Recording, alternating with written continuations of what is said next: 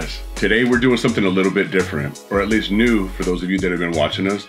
All through November this year and leading into the holiday shopping season, we were seeing a lot of advertisements through social media for Strikeman, uh, a device. It's a dry fire laser device that you use at home. It looks like they send you uh, something that you use with an app and a laser in your device to help you track where your dry fire accuracy is at. Uh, we were seeing it all over different social media platforms.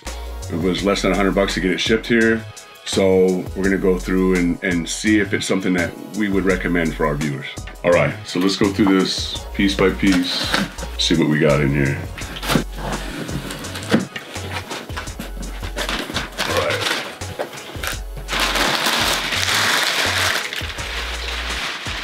All right, so far we got a couple pieces here, packing list.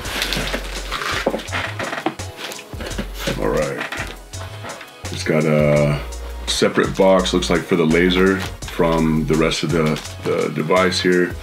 So, this is the nine millimeter. This is the laser that will go into the chamber and looks like it'll it'll shoot a laser out the barrel when you fire, uh, when you squeeze the trigger and the striker hits it. All right. Some nice cellophane wrapped around here. It's not a bad little box. Yeah, so far for the for $100 shipped, the quality doesn't seem that bad at all with what we're getting here. Here's the first set of instructions about the laser. Looks like it talks about the distance and using it. We got what looks like a target here. We got a few extra pieces right here.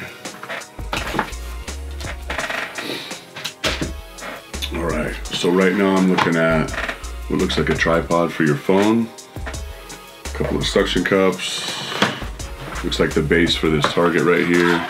So I'm gonna go ahead and download the app on my phone and we'll see how far we get with the loading the batteries into the bullet and loading the bullet into the firearm. We'll go from there.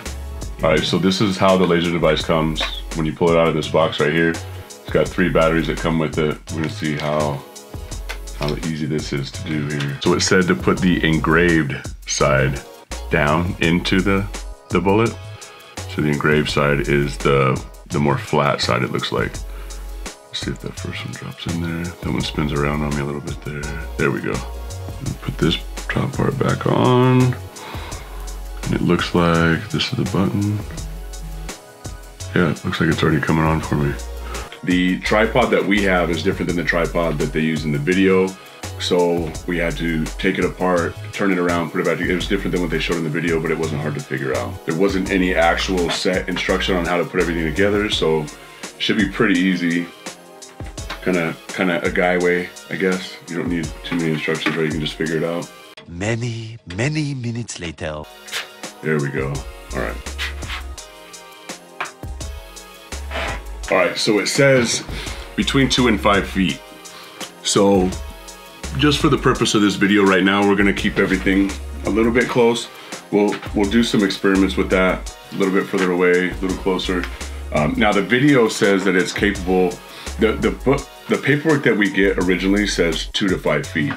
In the video, he said up to 10 feet, but recommend, recommend two to four. So there's already a few things that are definitely different from the video in comparison to what we have in front of us here. So we'll do five of these and then we'll see how well it tracks it.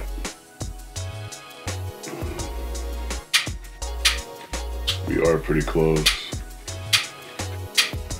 All right. All right, so now we'll stop this. So it looks like it gives me a grouping, all five shots in the one in the one area here. Looks like I can download this, share it, um, start a new one. It's giving me a total score of 49. So five shots taken, average rating is a nine. So it shows on the history, it's showing we have um, everything from the date, how many are, what our average score is. It brought us up to a nine.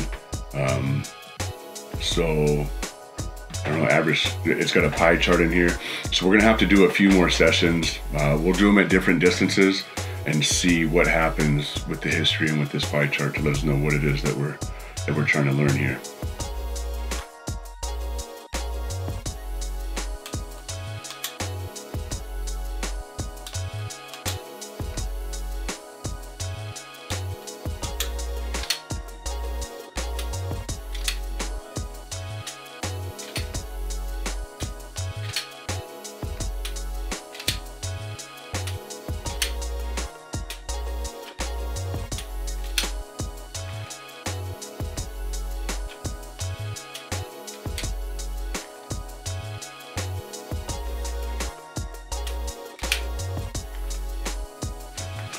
Right now, we're not having any issues. This is a pretty good session. Prior to this session, we noticed some issues on our on two different Android devices. This thing has given us a lot of phantom shots. Um, we went into the the Google Play Store and and the reviews for the app. There was there was some other people complaining about the same thing that it was recording shots that weren't being taken. Um, we tried to do that in a brighter room. We tried to change the lighting. It's still happening. On the iPhone device, it wasn't doing the phantom shots, but it, it wasn't registering all the shots. There's a phantom one there. The other things that we noticed, there was a difference between the iPhone and the Android. Whereas when you first open it on the on the iPhone, it gives you an option for, for a day mode or a night mode. We didn't have that on the Android. Also, if you notice here, when I want to stop this one and start a new one, it zooms back all the way out. To start a new one, I have to zoom back in on the target. I have to do my red circle all over again, pick the, pick the distance and start again. On the iPhone, it stays right there. When you stop and start a new one, it's, it's set where you last left it off, left off at. You don't have to reset anything. My mom got a new got something from Santa Claus this year. So before going to the range with it, she came over and, and got some some time with her trigger press before going to the range with it. And that worked out. Actually, we wasn't having any glitches when she did it at that time. So sometimes it's great. There was also in the video, when the, the guy's giving you a description of how everything works in the video, how to use it, he said that when you go into history, you'll be able to see this is the pie chart it gives you but like i said it's just it's not accurate i can't use this pie chart for anything. Um, when you view your previous sessions in the video he was showing us how there's options that you can do with these sessions. I can delete certain ones that i don't want to keep in there. There's no options here. You can view each session where it left off download it share it. Um, other than that there's there's no other options like you were describing. All right so we've been using strikeman system for seven days now. Um, as you saw earlier, we were having some issues with the app itself. Um, we saw, like they mentioned in the video, making sure that you have enough light. We've used it in different lit areas, different types of lighting. Um, dim lighting is, doesn't work as well. When it comes to the setup and how to work it, how to operate everything, it's pretty easy. When we first started this, I tried to kind of do it as like in a, in a layman way, but honestly and truly, this thing is super easy to set up, super easy to figure out, super easy to operate. Um, it's not very technical at all to, to get everything rolling and moving. As far as recommending this for, for our viewers or for friends and family, I, I gotta say no. Um, hundred dollars, sent to us. It's less than hundred bucks, but but honestly, with the app not working, the laser itself is really all that we're gonna really get out of this out of this system because we can't keep track of our history. We can't keep track of of if we're getting better or not. Would re- recommend some things for the app. If uh, if you get the app fixed to where you don't have the phantom shots and it is registering all your shots, um, from there, something that would be really cool is if the thing had a built-in shot timer. So where it's even if so if you're if you're kind of using at a distance, you could even have maybe a shot timer that goes off every so many seconds. You can set it at like every 30 seconds it has a random, or every 15 seconds it has a random, just depending on what you wanted to do. That way, you could have a draw fire. You see where you're at from from the draw to the to the laser on target. You can have mag changing. changing. You can actually get your time on with your accuracy at the same time. It would be very cool to have added into this system. But again, until those glitches are fixed in the app. This is not something that we're going to be using um, the way that it's recommended to be used, and, and we don't we won't recommend it for our viewers. Thanks for watching, guys. Um, if, if you like this, of course, hit like.